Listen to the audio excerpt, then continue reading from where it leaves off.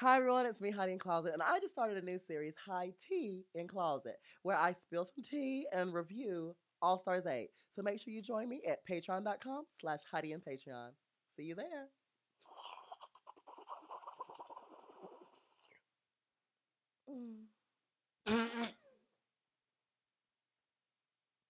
Something's wrong with me. Hello, everyone. It's me, Heidi N Closet from RuPaul's Drag Race Season 12 and now All Stars 8. And now I am going to do a complete review of the season. it's going to be All Stars 8. I clearly win, so I'm, of course, going to be here for the long haul. And we're going to talk about the season and how I lived through the experiences of it. The time I woke up, to, oh God, the thing is, it's first day.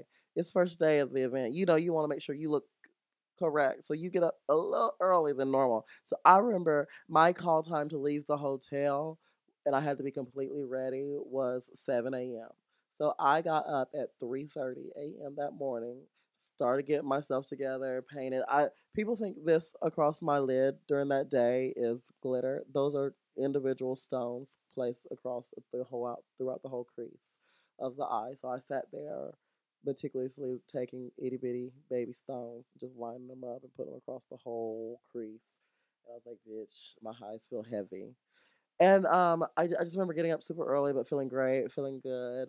My outfit was really adorable. It was um, not my original outfit. Actually, the outfit I wore at DragCon for the pink carpet, the knight in shining armor look that was my original entrance look, but I couldn't figure out a way to get it to fit in my suitcase. I was like, you know what? It's okay. It's not meant to be. Just leave it here. So yeah. So and it was so funny because I was I knew I was gonna be the first to walk in, and it wasn't because they they didn't really tell me anything. It's just like you know when before we walk in, we get like a quick debrief or whatever. Like yeah, just make sure you walk in, hit your mark, da da da. And then one of them was like, one of the people was like, in case you happen to be first to walk in, you know, just do what you got, you know, just take speak, you know, do what you do. So, so in my head, I was like, oh, so I'm I'm clearly first to walk in. like you wouldn't have said that if I wasn't going to be first to walk in. So I walked in fully knowing I was going to be first. So I was like, okay, I need something quick and catchy, really fast to say before I walk in. And I was like, okay, what's happening? I was like, and that's where it came from. I was like, perfect. It just it just slipped out my mouth so it was really good. Um, and then I had to wait, play the waiting game. That's the hard part is you have to play the if you're first in. But the thing is, they only let the girls go in first because they know they can handle the room. I think so. Like they knew like if they were going to send someone into the a, a cold room, who's going to start the fire? Clearly, it was Heidi N Closet. So it was definitely a, a correct decision to have me walk in first. I believe. Mm. Um, I it's crazy because I was walking around for a good five minutes by myself in the workroom. I was talking to Sarge. I was asking him where my child support was. Sarge is still there. He's he's he's. I don't think he's ever going nowhere. Uh, Spearmint was it Spearmint? Wintergreen, Wintergreen. Uh, Peppermint's makeover. Sarge is still around, I, and I love him. He's uh, he actually knows Darienne, baby. He knows baby. Um, but yeah, I, I was talking to him about child support because I'm tired of taking care of his children. I was talking to the walls. I was it was it was a good time, but it was like a five minute wait and stuff. And then in walks Mrs. Kasha Davis, looking like Mrs. Kasha Davis do be looking. I love Kasha. I call her Auntie Kasha. I don't. I haven't. Uh, I, I just watched the episodes and uh, they haven't shown me call her Auntie Kasha yet. So maybe they'll show it. I don't know. But um, I I don't like the shoe. I did not like her shoe, but I, I it was it was kind of like similar intervals, like five to ten minutes, depending on how much we had to say. And the more the girls got in, the more a little bit more time we had, whatever. So we we came through. We got Naysha coming in. We had um, who was after Naysha? Uh, Jim? No, Jimbo was much later. Jimbo, uh, Kahanna coming in there calling us clowns. I was like, this bitch just called us clowns. I was gagged fully. Um, and it was just really cute. I I wish they had left in the part when I said um I said when Kandy walked in, I said she looked like Sherbert because of the color scheme that she was wearing. And then what was it? There was one more time I said something. It was about who was it? No, it wasn't. I said something. It was Ojimbo when she came in. It was so funny because she was sweating because she was in the trailers, and it's hot in the trailers. It's cold inside Drag Race, but on the outside we're in, we're in California, so usually it's cold. It's hot. So she was in a trailer. and It was not necessarily I mean, there's AC on them, but you know, it's still like we're in California in the heat of in, in a in a little RV, so it's not gonna be like the coolest. So she's in there, and then she just starts sweating, from her neck. Just makeup. She's in that full body and she's padded underneath too. So she's like body and cinch and all that stuff. And then like she's sweating from that and then the latex on top and she's sweating and then all of a sudden she just like pores start coming from her neck. And then I, w- I took out a sponge, a makeup sponge from my purse and I just started dabbing it on her neck and making sure she was like, let me blend you out, sis. But yeah, it was it was like little stupid interactions like that that did. Oh, the one thing that they didn't leave in was okay. So they actually kept like one piece of it. It was when uh, Jaymes walked in and she was like, "Me and Kahanna are rivals," and um, and and Kahanna was like, "You want to go there?" And it turned into like a whole big deal. Like it was, it ended up the girls were fighting about brunch. I was like, you know, we've hit the bottom of the barrel when the girls are coming to Drag Race fighting about drag brunch. Here we go. Not this. Like we can't sit here fight about brunch on on Drag Race. It's fine. And I was like, I was like, this is gonna eat up all the airtime, not this. And they didn't even show it. I was like, good, good. But also, it kind of it it didn't make sense that they didn't show it though, because you know with Connor and Jaymes both being in the top and stuff. So, well, we'll get to that. We'll get to that. Some, some people have questions. We got questions about little some things. Um, and then we, you know, I'm having flashbacks and trauma to season twelve because on our first episode we also had to do a fashion show with two looks. So I was like, oh, and that's where my headdress fell off. So I was nervous. I was like, okay, first day walk in, we gotta do we gotta do all this and stuff. I was nervous, and I had to do my I had to do my porcelain doll look first. They wouldn't let me do the other look first. And did you know that those looks were to be together? Yeah, yeah, we knew they were we knew they were going to be together. It was like in a little email. They were like, hey. It, it, they didn't straight up tell us. They kind of just hinted. They said, just so you know, these looks should probably be near the top of your luggage or like packed together. You know, just like can't be like, okay, well, I can clearly read between the lines, so that's gonna okay. Because also it helped that on season twelve they did the same thing, be like, hey, have these looks probably packed together. So I was like, oh, that's okay, okay. So that's so I kind of already knew we were to do like something like a fashion show on the first day because I was like, it, it just it was reminiscent. It was just like, oh, I'm reliving that and um, we did that. Uh, my first look was my old fame. Well, we're not gonna go into that. We're not going to go into that. We're not going to go into that. We're gonna go. They changed up the name. We're we'll edit it out, but they changed up the name. But um, uh, what is it called now? A famous then.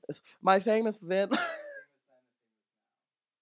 my famous then look was ba- based off of a porcelain doll. My grandmother had porcelain dolls. There was this love seat that she had full of nothing but porcelain dolls, and there was most they were mostly white ones, but there was this one black one that I saw that was like sitting towards the middle of it, and it, that was kind of the one that I was taking the reference from my look from because it was the one black doll. I was like, that's I see myself in that doll and stuff. So actually, uh, we only had like twenty five minutes to change from our entrance looks to our first row look, and I I had actually asked production ahead of time. I was like, because I, I I got ahead of this thing. I was like, this sounds like we're gonna be doing these the same day. Will I have time to switch my makeup in between? They're like, it'd be a short amount of time, and it was 25 minutes. But 25 minutes is not just for makeup. 25 minutes is from one look to the other look. So I actually had like 10 minutes to do that look. So if I had more time, I think it would have been better. I think, but I think it turned out cute. It looked good. Yeah, yeah, yeah. And then I had to change it back for the next one because I, they also wouldn't let me switch them. I, I asked could I do Old Fame, uh, the uh, the uh, the famous then after, but they were like no. So I was like, okay, well, I'll have to paint my face white and then change my face back. That's fine. And and my eye. That's why I kept my eye the same in the first look because I was like, I'm gonna just change it for the second look, and then because I'm gonna have to focus on this for it was a lot. I don't know why I chose to do it, but I wanted to do it. I wanted to do it the way I wanted to do it, so I did. It's obvious Kahanna's Lil Nas X was clearly a, a, a slobber knocker. Um, I think not a slobber knocker. Uh, um, I thought Kasha and uh, Kasha and Darienne's looks, uh, their their famous now ones, were mysterious uh, at best. Uh, I was like, not Kasha doing. You see everyone saying she was doing Liza Minnelli does Kris? She's, people were saying Kris Jenner is Lily Liza Minnelli with a cell phone. Yes, that was her famous now. She was doing Kris Jenner, and I'm like, what? She's like a momager apparently, and I was like, okay, that's Liza with a cell phone, but okay, we love you, sis. And then Darienne's Billie Eilish was mysteriousness, girl. We were, I remember all of us gathering and just kind of looking, like, because we have to get in line and lined up before we do the runways and stuff. And we're all just standing there in our gorgeous outfits and like stuff like that. And we just look and, and Darius. They're just hokey pokey along and just Billie Eilish. Look, I was like, I'm like, girl, that's a risk. I don't know. So I was like, I feel good about this episode. I was like, I don't think I'm going. That's fully what I thought. I like, I definitely not going home for sure. Um, not on this day. Um, also, I really loved uh, Jessica's uh, her Cleopatra moment was really beautiful. It was very old school drag, but still like like gorgeously done and like well executed and put together. Oh, and the other standout, the last standout from this, um, uh, LaLa Ri, her famous now, a brown a brown cat suit with uh with horribly felt letters. I'm just saying, and the thing is, they look better on camera than they did in person. Uh, That's all I'm gonna say. It looks even worse in person. Uh, but yeah, uh, the the Ruli the Ruli fans was um the cat suit matched. Um, um, and so now we got split into groups, which I was like, okay, a performance yet again, reliving season twelve. Uh, I was like, great. And then I and then I got put in front of the choreography again. I was like, okay, great. And for these outfits, were you told to bring an outfit for each group? No, we were not. We were we were told to bring video vixen runway, not runway, just video vixen looks, and those were supposed to be like just outfits we were able to pull from for like these kind of performance challenges, which is it's okay, I guess. But when you have something as specific as glam rock, it kind of um it kind of makes it difficult because not everyone's going to have a glam rock look in their wardrobe. Like me personally, I didn't have anything glam rock necessarily. Uh, for for the outfit I wore during this challenge, I was actually going to wear completely something completely different. We were originally all going to think about wearing um, different colors, like since it was like glam rock 80s kind of vibe. We were like maybe we all do like one color, pop like that, but we were like it's not coming together, not cohesive enough. So we ended up just doing all black because we all had something in our thing that we could make that was black and we could make work really for the thing. So, so it kind of worked out, but also I think they should definitely get more direction for that if they're gonna. Because also not everyone's gonna have a disco look either. Like not everyone has disco looks. You saw Jaymes, uh, and I said the, the thing is I liked their group's song better. I think we had stronger performance overall, and I think that's what really um, allowed Kahanna to snatch the win on our on our on our end. So, um, whose verses really stood out to me? Jaymes actually had a really good verse. I think her verse itself was funny. Did not much was going on in it. Like she was just like doing hello, all the, those mannerisms that she does. So it was a lot going on, but it was like at least the lyrics were funny, and I love that they couldn't even edit around how bad she was at the choreography. They was like, we kind of just have to leave. Yeah, we have to. There's no, because it, well, it was worse in part.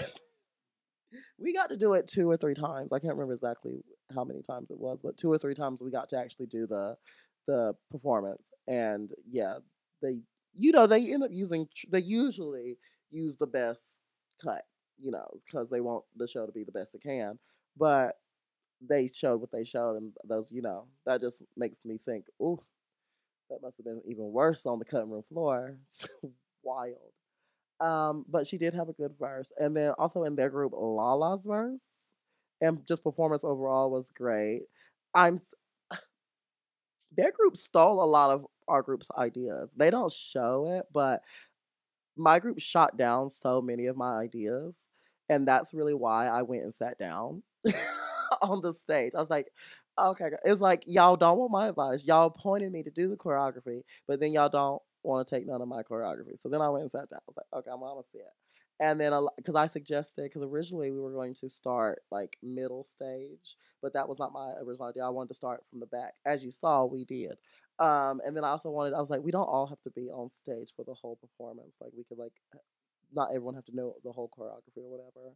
And like we could have different entrances because I originally was trying to use the stairs where Lala came in on for not me, but for just someone in general. But they were not having that either. I was like, girls, y'all really, y'all try to put me in a pickle. Y'all put me in lead of the choreography, but then don't want me to choreograph it. Wild. Um, but we got through it. Thank God they let me do what I do, and we did, and we did it. We got there. Of course, I still, uh, of course, I took their feedback and stuff, and was like, I'm not gonna sit there and try and choreograph the whole thing. We have very limited time, but I'm like, if y'all gonna put me in charge of the choreography, y'all gonna hear what I have to say, and my say is gonna be the final say if um when it comes down to it, or we can just not do choreography, and then we all gonna look stupid.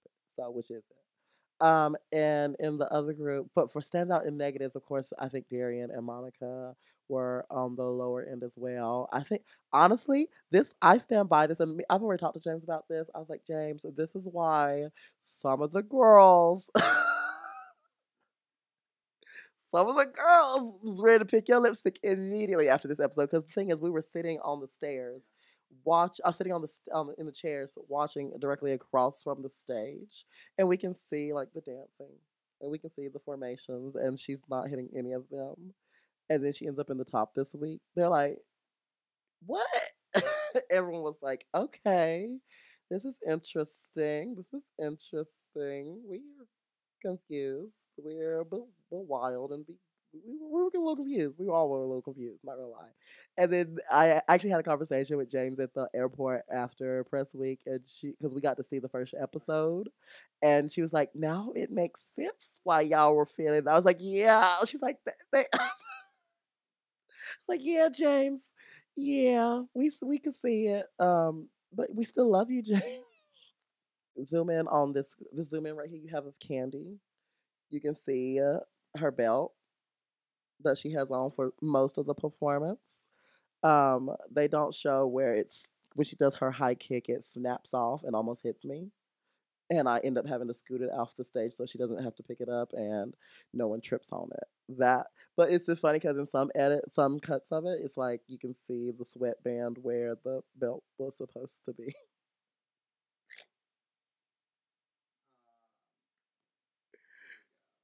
I was like, look at that.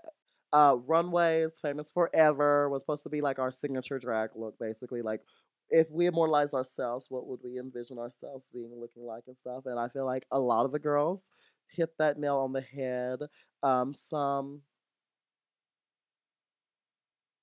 I wanted more from, I guess. Like the ones I wanted more from was like Ale- Alexis looks beautiful. I don't necessarily know if I would say that was her signature drag. Like I I I know she does like if we were gonna do signature drag, she should have came out in like a ugly blue dress and a little fur coat and called it. and she would have been fine. She should have got something from the mall. And Can you talk about the uh, the? Oh my god, this bitch wants an Emmy or a Tony or whatever she's. I don't know what she's competing for, but honey, she said, "Give me this screen time." I don't know what was going. I was just sitting there, and I'm just like chilling in the chair. I'm just, and then she, and then we're talking. We're having this wonderful and emotional felt conversation with Monica, and then we love Alexis. Don't get us wrong, but Alexis is Alexis, and she does what she does, and she just she. Uh, the thing is, we are all our own main character, but when Alexis is around, she swears she's everybody's main character. So she like she has to say like she there's this thing about her where she has to say something. She had like if she has something on her mind, she has to say it. She feels like she needs to say it. She's going to say it, regardless. She has to wait 15 minutes, and we are completely on a different conversation she's gonna bring it up then, or she's gonna bring it up right then. It's like it's gonna be said. Like there's no if, ands, or buts around it. Like that's, that's, that's just what it is. I'm obsessed with. It is. I- It is one of my it's unhinged. It's just like, we're like- so good. She's such good TV. She, she's like, because thing is, she came back wanting to really show who who she was, and like she was the wanting to show that she's not how she came off as on season season nine. Now she's still a little delusional, of course. She is a nice person though. There's uh, I don't know how much uh I I don't know if I can say that, but she is a nice person. she is a nice person in in general. I don't know. There's a disconnect between her and the thing is, she makes good TV, yes, but that is not her in in real life. Like her in real life is actually a much more thoughtful person and more like I think self aware. I mean, well, is, the, parts of her that are the best TV, they're just showing you all of the parts of her that are the best TV. There was other times in this not a- conversation. That's not a complete picture of who No, she is. no, no, no. a. She is a lovely. However, she we all have these parts to us, and you Yeah. know sometimes they just get magnified in front of fifteen that's also- cameras. that's kind of drag race. I think, It is I think it that's the thing. A lot of the the, the thing is, Drag. Race does take like certain aspects of you and expand on them and like blow them out of proportion and stuff. So yeah, this is part of her, but that's not all of her. And it's definitely like they definitely was like, this is what's happening right. And yeah, she did come back there and have that whole conversation with us. And it's not the last. I'm gonna say that right now. If if they're gonna keep showing them, this is definitely not the last. Trust me. Honey, there's this. There was this one. T- Wrong. it's gonna be so funny.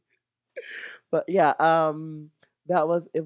She was just going and letting us know how she was nervous about how she was going to be received being on the season. I think being in the top on the first episode and seeing how well the judges received her and like how we weren't ostracizing her, being mean to her, or anything. Really, was like touching her in a positive way, and and I think it meant a lot to her. And I feel like she, she's that girl. She's gonna get something off her chest, so she had to let us know in detail.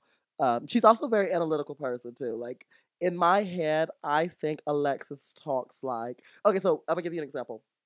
For press week, we were at this interview and there was these lights here that they weren't using, and it was just in like some um some uh work office space. So the lighting wasn't the best, but they had the lights there that they weren't using. And I think they weren't using it because they didn't want to make it super hot on us or whatever. And then Alexa sits down and she's like, "Are they gonna cut on the air? I mean, are they gonna cut on the lights? You know, if you could just move the lights over here, it'd be like." and she just starts like talking and just micromanaging everything, and they're like, "Yeah, we're just gonna leave the lights off," and she's like, "Okay," and then she gets up and goes talks to somebody else, uh, possibly about fixing the lights, and she's just so over analytical about things. And in my head, I think she's like, "This is what my in my head. This was the conversation she was having about those lights." She was like, now, if you look the lights right here, if you move them just three inches over here, it'll hit the highlight of my cheek and it'll shine three percent more, and it'll give everything that everyone needs, and everyone else will also be brighter too, and it'll be every, it'll be great for everyone else. That's how I think she thinks it. And I told her that, and she said that, yeah, that's kind of is how I think. I like, I can feel that. I can feel. I love that nut job. I love her. Um, also, the first signature drags, I feel like Kahanna's looks exquisite. Um, it's just it's very Vegas. It's very very Vegas. Um, uh, can we do a side by side of Kandy Muses and um Poppy? Poppy, if you're watching this, you know armbands could have saved you. Armbands and nicer hair could have saved you because that's what Kandy's wearing. and then, of course, the final standout was the one and only beautiful Heidi N Closet. Um, doing a Fifth Element reference because I did this. Actually, this look is I, a lot of my looks I d- helped design myself, and uh, they all like mean something to me. This look was a reference from Fifth Element because a lot of people growing up said I acted like Chris Tucker from those movies and stuff, and I just, of course, I was going to do like a leopard print because you know I love a good leprosy print, and the, I would say these are kind of like like that pink is kind of like a signature. Pink purple is kind of like a, a Heidi color. So I really put myself into this. I was like, I want it to look gorgeous. I want it to be me. I want it to be what I would give. This is how I feel, and this is what I'm serving. You've really been consistent with your gap branding. You have that. Thank you. You. everything I've seen. Not everything, but everything. Not everything. And then actually, these are the last gaps. After after next week's episode, these are the last gaps. Well, I take that back. I take that back. There's one more outfit that has a gap, but it's just the one more. It was, there's also like 40 looks we end up having to take, and it was like four of the five looks that I brought that had gaps on them were the first couple things I had to wear. I was like, Michelle did say, is there going to be a gap on everything? When I was in the top next week, she's like, is there going to be a gap in everything? I was like, no, it's just kind of in the luck of the draw, sis. I would put a gap on just a few things, and that's all I have to wear for the first couple episodes. Um, but then we go, uh, and Kasha's doing Kasha again. You know, we love Kasha here in this household. Um, but then we get to Untucked, and then the whole Alexis Michelle thing happens, and Lord have mercy. It was a good time though. We were kikiing. Some of the girls, we were all talking and kikiing. We are like, we're kind of surprised that some of us are back here and not not in the top right now. And then I think it was uh was it Kandy that said Kandy was like, it was either Kandy or Naysha. They were like, when they first started calling out the names, I was like, oh, these are going to be the tops. And then I, of course, pointed out, just so y'all are aware, they called my name first. So if you thought someone was going to be in the top, it was definitely me then. Thank you very much. I appreciate it. Um, but yeah, also I really love Jimbo's look too. Jimbo's look, she's always out of all the girls, I think Jimbo's Jimbo and me are the best at branding ourselves. So like this is our brand, this is the kind of style that we do. Whereas others, they still like they do them. Oh, and Kasha, Kasha definitely brands herself too, but you know, in a, in a Kasha way. There's always time for a mocktail. I love that bitch. But then um, we had conversations with the girls and Kikian.